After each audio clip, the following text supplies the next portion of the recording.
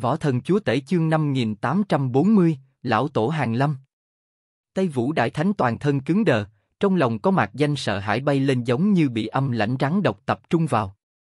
Hắn biết sinh tử của hắn đã không phải do chính hắn trưởng khống. Đáng giận mặt vân cổ huyệt, nếu không phải là hắn bản tọa há lại sẽ rơi vào tình cảnh như thế. Tây Vũ Đại Thánh cắn răng đối với chết đi mặt vân cổ huyệt hận thấu xương. Hắn vốn không ý nhúng tay ấp Long Đại Thánh một chuyện, thật không nghĩ đến mặt vân cổ huyệt ngứa mắt phía trước tầng trần trường kỳ cư trú Nam Nguyên Thành, dù sao Nam Nguyên Thành chính là hắn tư nhân chi địa, mà hổ chi giường há lại cho người khác ngủ say. Lại thêm chi ngấp nghé trên thân tầng trần có cơ duyên cho nên đến đây cổ động hắn. Mà hắn cũng là ma quỷ ám ảnh, vậy mà đáp ứng mặt vân cổ huyệt suối dục mới rơi vào tình cảnh như vậy. Bây giờ suy nghĩ một chút, trong lòng hối hận lại là như thế nào cũng không cách nào tiêu trừ. Nhưng hắn cũng hiểu biết, vì kế hoạch hôm nay tuyệt không phải ảo não hối hận thời điểm, cầu được một chút hy vọng sống mới là hắn bây giờ quan trọng nhất. Tần huynh, lần này đến đây Nam Nguyên Thành cũng không phải là chính ta chủ ý, là cái kia mặt vân cổ huyệt lão thất phu lợi dụng trước kia ta cùng với giao tình của hắn, áp chế ta đến đây, còn để cho ta vì trung chuyển hướng thiên ngoại thiên tổng bộ tuyên bố nhiệm vụ, dẫn tới cái này hỗn độn cấp sát thủ xử thương đại thánh, đây hết thảy cũng là mặt vân cổ huyệt lão thất phu kia làm ta cũng là lấy hắn chỉ đạo mà làm a.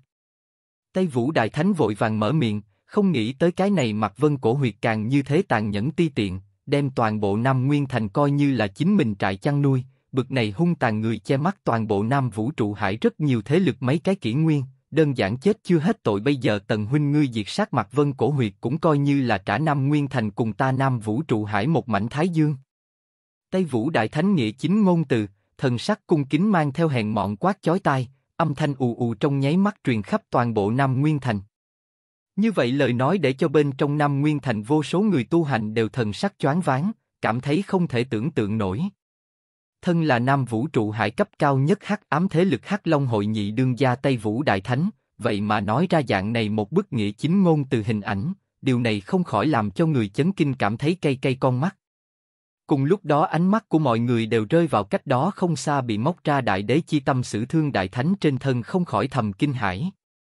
Khó trách cái này một vị sát thủ thực lực khủng bố như thế, một thân tu vi đạt đến đỉnh phong đại đế cảnh giới, không nghĩ tới càng là vũ trụ hải cấp cao nhất sát thủ thế lực thiên ngoại thiên phái tới. Nam vũ trụ hải nhưng không có như thế đỉnh cấp sát thủ. Chỉ tiếc vẫn là thua ở tầng trần đại nhân trong tay. Nơi xa thiên ngoại lâu chủ quả tính chỗ. Hoa Lạp.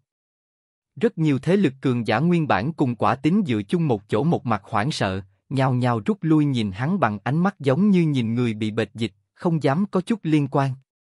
Thiên ngoại lâu đó không phải là thiên ngoại thiên tại tất cả vũ trụ hải sai phái thế lực sao? Trước mắt sát thủ này khó nói cùng thiên ngoại lâu chủ quả tính không có liên hệ vẫn nên cẩn thận thì tốt hơn. Quả tính giống như thời nghi lộ ra một tia hoảng sợ, thân thể hơi hơi run run thể hiện ra thấp thỏm tâm tình sợ hãi. A. Tần Trần nhìn xem Tây Vũ Đại Thánh mặt lộ vẻ cười lạnh, các hạ có ý tứ là nói lúc trước đánh lén bản đế cùng các hạ không hề quan hệ đi. Nhìn xem Tần Trần khóe miệng cười lạnh, Tây Vũ Đại Thánh thân thể cứng đờ liền nói, Tần Huynh nói đùa bản tọa cũng tự hiểu lúc trước phạm vào sai lầm lớn, nguyện ý biểu đạt thành ý chuộc tội. Hơn nữa liên quan tới ấp Long Đại Thánh cái chết, bản tọa nhất định cáo tri hội trưởng, là cái kia ấp Long Đại Thánh tự tìm đường chết, đến đây tìm Tần Huynh phiền phức mà cũng không phải là Tần Huynh muốn tìm ta Hắc Long hội gây hấn. Hết thảy tất cả này bản tọa nguyện ý gánh chịu trách nhiệm, lại đại biểu Hắc Long hội hướng Tần Huynh làm ra bồi thường, chỉ cầu Tần Huynh có thể tha thứ ta tội bất kính, buông tha ta một đầu mạng nhỏ. Tây Vũ Đại Thánh cầu xin tha thứ. Bây giờ người là giao thất ta là thịt cá, Tây Vũ Đại Thánh là từ tầng dưới chót từng bước một đi ra, mặc dù dựa lưng vào Hắc Long hội loại này quái vật khổng lồ nhưng hắn căn bản không dám đánh cược tầng trần không dám giết hắn. Cái trước lớn lối như vậy ấp Long Đại Thánh một phần cỏ dại cũng đã cao 3 mét. Nếu có thể sống sót quỳ gối cầu xin tha thứ lại có thể đáng là gì? Phải không? Tần Trần lạnh lùng nhìn xem hắn, Trước kia ngươi cùng mặt Vân cổ huyệt hãm hại diệt không đại đế tiền bối để cho minh giới cường giả chém giết diệt không đại đế tiền bối bỏ mình, lại thêm ngươi hắc long hội vốn là tội ác chồng chất, ngươi nếu không chọc tới ta ta cũng lười tìm ngươi, nhưng ngươi cư nhiên muốn dẫn ta vào chỗ chết, vậy cũng là đừng trách bản đế không khách khí. Oanh! Tần Trần tiếng nói rơi xuống, trong thân thể của hắn sát ý vô tận hắc hà phóng lên trời, mình mong sát ý hắc hà hóa thành một màn trời đem vùng thế giới này trong nháy mắt bao phủ. Ngay sau đó Tần Trần đại thủ nhô ra trong nháy mắt chụp vào tay Vũ Đại Thánh lồng ngực. Ngươi! Tay trong lòng Vũ Đại Thánh kinh hãi, cảm giác được Tần Trần trong con mắt sát ý, hắn điên cuồng thiêu đốt chính mình bản nguyên cùng linh hồn, cùng lúc đó bỗng nhiên kích hoạt trong đầu mình một đạo đen như mực ấn ký. Lão Tổ, cứu ta! Oanh! Một đạo trong cõi u minh khí tức nháy mắt bắn ra đến cái này vô tận vũ trụ hải chỗ sâu hắc long hội tổng bộ chỗ. Ông!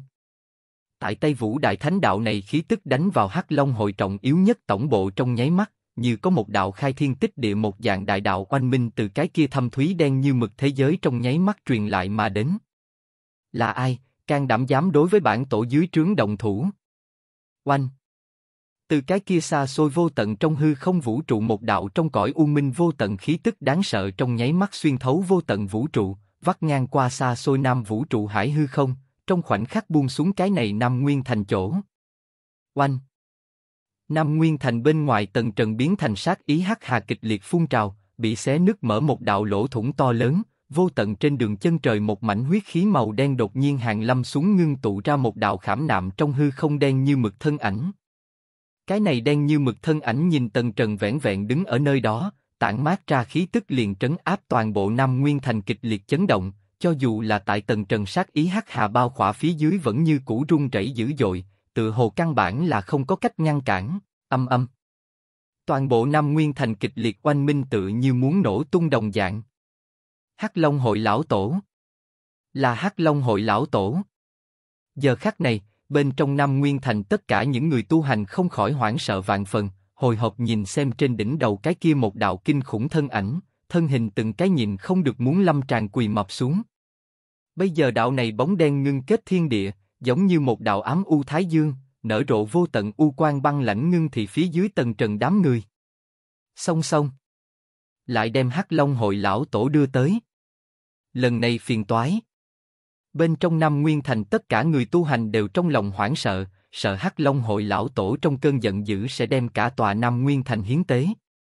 Vạn cổ các chủ sở Nguyệt Ly cùng thiên ngoại lâu chủ quả tính cũng kinh hãi, bọn hắn vạn vạn không nghĩ tới Tây Vũ Đại Thánh tư thái thấp như vậy, Tần Trần lại vẫn muốn giết hắn đây không phải muốn cùng Hắc Long hội triệt để không chết không dừng sao? Cái kia Hắc Long hội lão tổ là khai sáng nhất đại thần triều nhân vật, có thể để cho Hắc Long hội sừng sững Nam Vũ trụ hải nhiều năm như vậy, làm cho cả vũ trụ hải vô số cổ lão thế lực lớn thừa nhận Hắc Long hội tại Nam Vũ trụ hải Hắc ám thống trị, hắn thực lực tuyệt không phải bất luận cái gì đại đế cường giả có thể khiêu khích. Hai người đều kinh hãi, đến từ vũ trụ hải đỉnh cấp thế lực lớn chính bọn hắn đối với Nam vũ trụ hải rất nhiều thế lực lớn hiểu rõ trình độ viễn siêu tại chỗ bất cứ người nào. Đây là một cái cái thế vô địch bá chủ kiêu hùng. Lão Tổ, cứu ta! Tây Vũ Đại Thánh bị Tần Trần gắt gao nắm chặt, trong cơ thể hắn đại đế chi tâm đã bị Tần Trần móc ra, hoảng sợ tuyệt vọng nhìn xem trên đỉnh đầu bóng đen hải nhiên nói. Hắc Long hội lão tổ ánh mắt lạnh như băng ngưng thì phía dưới tầng Trần, giống như thần linh đang nhìn xuống dưới chân sâu kiến. Khoa mạc đa thú nhất tộc. Hậu kỳ đại đế cảnh giới. Hắc Long hội lão tổ ánh mắt tại tầng Trần cùng tác la gia trên thân lướt qua bộc lộ băng lãnh chi ý. Hậu kỳ đại đế trong mắt hắn tự như sâu kiến đồng dạng nhưng khoa mạc đa thú nhất tộc lại là không thể khinh thường tồn tại. Tây Vũ, ngươi tại sao lại cùng khoa mạc đa thú nhất tộc kết thù? Một đạo lạnh lùng trong nháy mắt tiến vào tay Vũ Đại Thánh não hải. Lão Tổ, là ấp Long Đại Thánh cùng cái kia mặt vân cổ huyệt. Tây Vũ Đại Thánh không dám thất lễ vội vàng đem Nam Nguyên Thành phát sinh hết thảy nói ra. Tại hai người thần niệm câu thông thời điểm, Tác La Gia nhìn xem trên đỉnh đầu Hắc Long hội lão tổ cũng vội vàng truyền âm tần trần.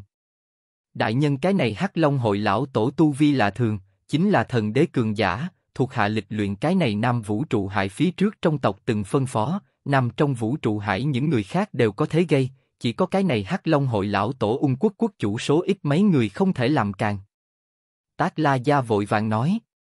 Hắn khoa mạc đa thú nhất tộc là mạnh, tại toàn bộ vũ trụ hải danh khí càng là ở xa trên Hắc Long hội cùng ung quốc chi chủ, nhưng đối mặt bực này cấp bậc cường giả trong tộc vẫn sẽ không chọn là địch.